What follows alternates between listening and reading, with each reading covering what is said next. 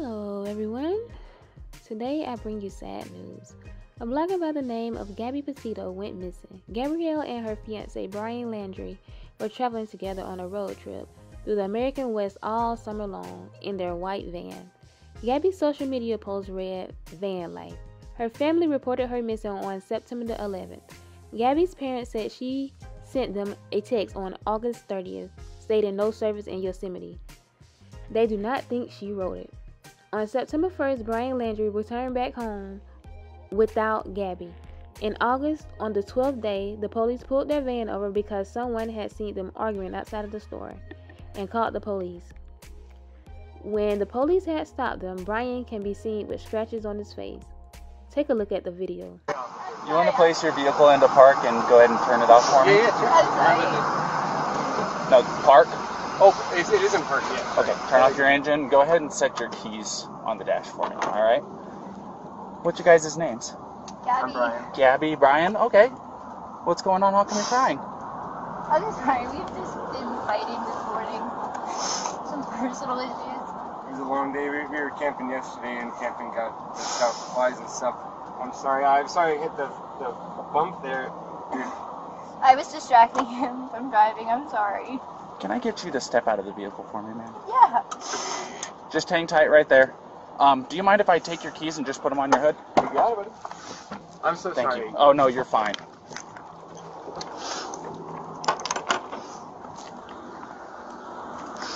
I'm gonna go ahead and close your door. Okay? Why don't you come over here?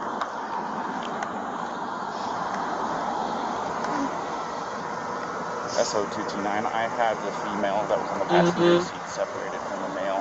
Keys are on the hood. You want to tell me what's going on? Yeah, I don't know. It's just some days I, I have really bad OCD, and Okay. I just I was just cleaning and straightening up the back of the van before, and I was apologizing to him and saying, "I'm sorry that I'm so mean because sometimes I have OCD and sometimes I just get really frustrated. Not like mean towards him. I just like I guess my vibe is like I really I am really like in a bad mood. And I was just saying, I'm sorry if I'm in a bad mood. I've just been really stressed. I had so much work I was doing on my computer this morning. What do you do for a living? Um, well, I, I used to work at an organic juice bar, but I just quit my job.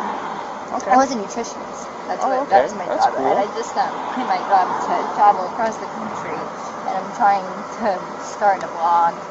I Okay. have a blog and stuff. So I've been building my website. So I've been really stressed, and he doesn't really believe that I could do any of it. So that's kind of been like a, I don't know. He's like down there. I don't know. We've just been fighting all morning, and and he wouldn't let me in the car before. And then Why I- wouldn't he let you in the car? Because you told because me of your OCD? told me I needed to calm down. Yeah. but I'm perfectly calm. I'm calm all the time. And he really stresses me out. And I just, and this is a rough morning. Well, why don't we do this? Why don't I sit you down in the back seat of my car? You're not in any trouble, okay? I'm not going to be putting handcuffs on you. You obviously don't have any weapons. I'm going to get you into the air conditioning, let you take a breath, relax a little bit, and then I'll come back and talk to you in a few minutes, okay? Okay. Alrighty. You my fiance, right? What's that? You talked to Gabrielle, right? Yeah, I just spoke to her. Yeah. So, you want to do me a favor? Let's go ahead and get you to step out of the vehicle, alrighty?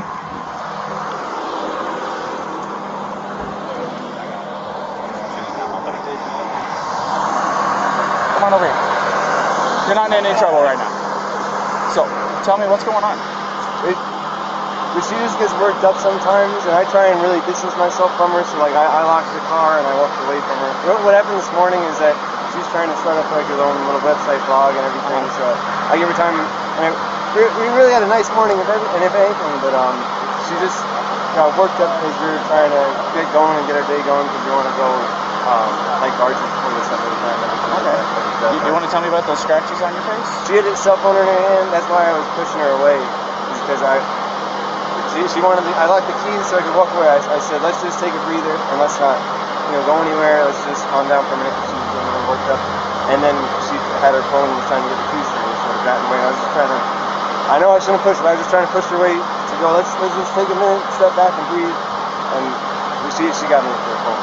Can I see your hand? Oh, you got a mark right here. Oh, that's from a wire. That's from a wire. Yeah. You want to tell me about hitting that curb? Hitting the curb was her grabbing the wheel. She grabbed the wheel. Yeah. She said, I can't believe we're getting pulled over, and then she grabbed the wheel. What about the speed? Did she take over the? No, I over the pedal on you? If I was going fast, I'm sorry. No, it's probably just the, the moment of I'm still shaking now. The adrenaline, seeing the lights flashing up, and then her gripping the wheel. So if I sped up, I'm sorry about that. Or if I was speeding beforehand, I'm sorry about that. Yeah, it took quite a bit to catch up to you. So. Yeah. I'm sorry about that. We're just going into the, the park again to get water because we have a six gallon water container to fill Uh-huh. up. So we're just grabbing water for the hike. Okay. And we were just, I was trying to keep everything calm and quiet because there's plans still to go for a hike, but then she. I'm, I'm really sorry about that. Of course, of course. Do me a favor. You want to go ahead and just take a seat right over here on the curb for me? And if I was speeding, I'm sorry. I want to apologize. You don't have anything in my pocket or anything like that, do you? Nope. Just the wallet? All right. And then, do you mind lifting your shirt so I can check the waistband? I got Turn around for me real quick. Perfect. nothing. I just, I just No, want to make sure that How many times did you slap? Bravo Romeo India Alpha November. And then what? And his reaction was to do what? It's gonna be out of Florida. He just grabbed you? Did he did he hit you though? I mean, I mean, it's okay if you're saying you hit him, I I understand if he hit you, but we want to know the truth if he actually hit you. Because you know, where did he hit you? Don't, don't worry, be honest.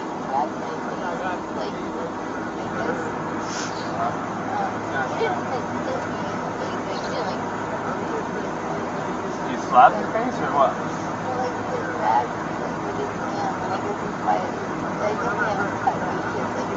Yeah. Go ahead. Okay. So has he been drinking? No, we don't. Okay. What was up with his driving? I this officer said he hit a curb I, I, I, while you're driving. well, he was there. While he was driving, you were hitting him. But I'm not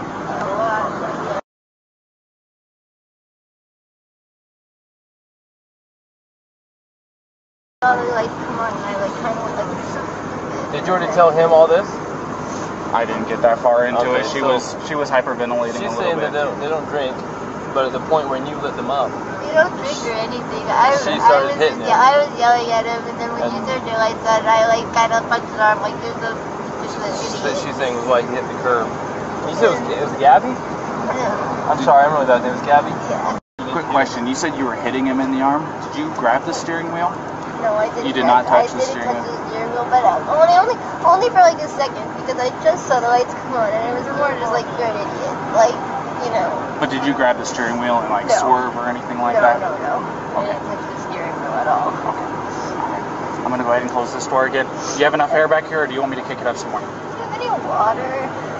I will see if I can find some. okay, no. But we just had a little disagreement there. and Uh, disagreement was just that she was getting a little worked up, and I was saying, no, it's okay, thank you so much. As long as it's cool, that's good. Um,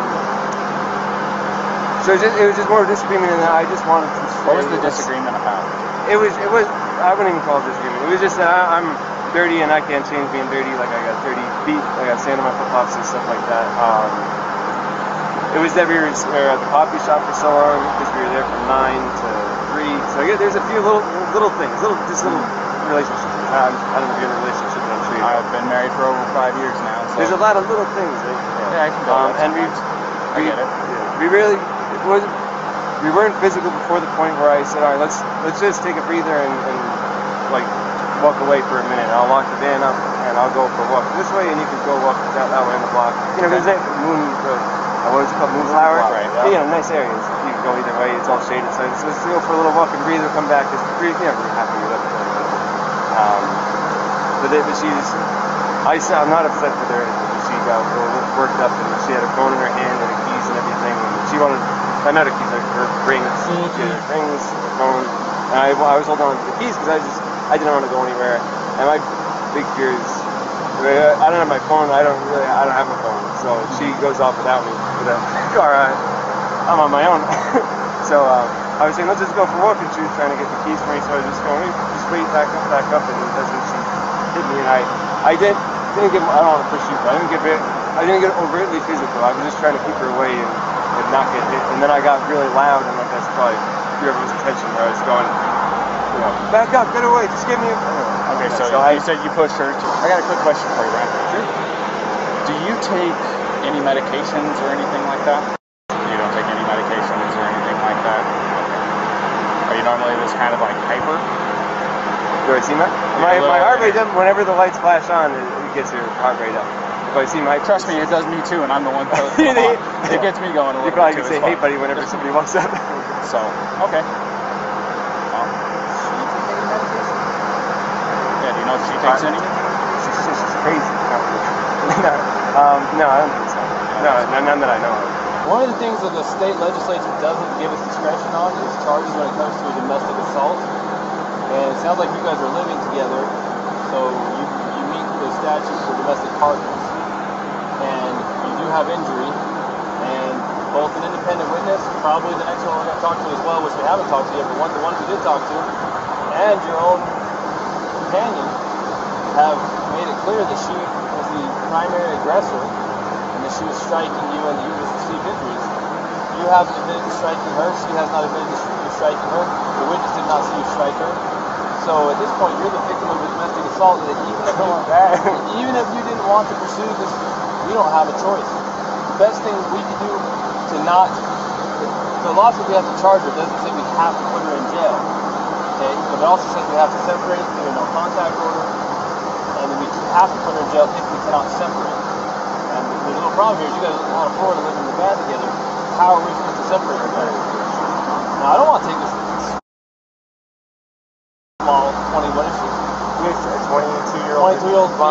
blonde female in jail. blue eyed jail. that you could definitely defend yourself against, but at the same time, we can't say because you're a male and she's a female, we can't treat this different than if you were the male hitting her. Or we got treated the same. Yeah, no. So she's kind of in a tough spot. So unless you have an idea about how she could not go to jail and be separated, you have friends in town? Somewhere she could stay? Tomorrow, if you want to, it's up to you. You can Can I go, go to jail? You can't because we don't have a charge for you. And then tomorrow, if you wanted to, you could get with her again tomorrow. Gonna take your radio.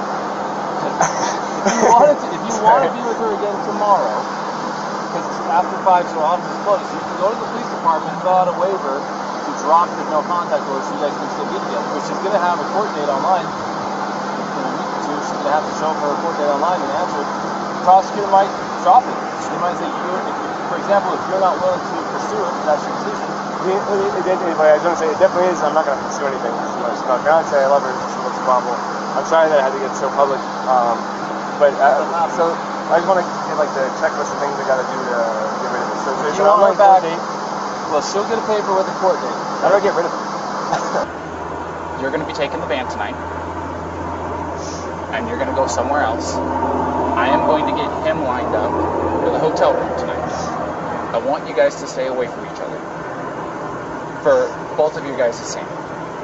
From what you told me and what he told me, you guys have a bunch of little things that are building up, building up, building up, and finally the little string that you guys were tight walking on road tonight. Does that sound about right? So, I just want everybody to breathe, get a chance away from each other, go eat a meal, talk to your parents, whatever it is you got to do. In here?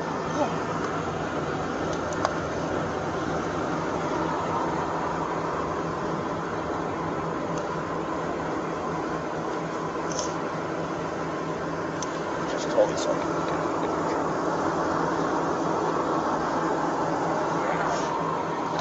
So, like I said, that's what I'm going to be doing tonight. Hold on. This is Officer Robbins. Up.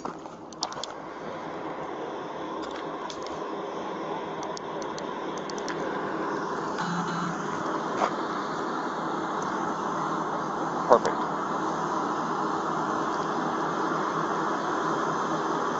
As you can see, I have keys in my hand, which is good news, okay? So, something that I do, that I emphasize to him, and I don't know if I emphasize to you or not, don't text each other tonight. He wants to pass on the same message you passed to him. He's really looking forward to talking to you again, but I told him and you, unless there's earth-shattering emergency news, don't text tonight, okay? Even with the good nights, I love you. He's saying good night now. He's saying he loves you now, and you guys can talk tomorrow morning, okay? He's gonna go to the hotel. I'm gonna give you the keys to the van. Alrighty. So, here's that. I'm giving him a ride over to the hotel. Okay? So. In the video, it looks like Gabby was the aggressive one. Brian can be seen with scars on his face, and Gabby admits to punching Brian in the arm. He lied and said she grabbed the steering wheel because he didn't want to see his fiance going to jail. I feel like this man took so much from Gabby to where he just snapped on her. I truly hate Gabby's life had to end like that. I wish they would have just separated from each other. What do you guys think happened? Now, Brian is missing. His parents said he left home with a backpack. The policemen are searching for him because they found human remains on Sunday at the Spread Creek camping area in Bridger Teton National Forest Park. A full forensic identification is needed to confirm that it is her. On Monday, the FBI surrounded Laundrie's house in North Port, Florida. Their search effort includes bloodhounds and drones. As a matter of fact, they are putting tape outside of his house now. Prayers for Gabby and her family. Here is a video showing the police at Brian's parents' house.